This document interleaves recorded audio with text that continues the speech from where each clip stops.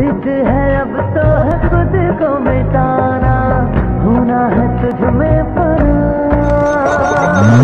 चाँद बारिश जो करता हमारी बेटा वो तुमको बता। शर्मो है आगे, पर्दे गिरा के करनी है हमको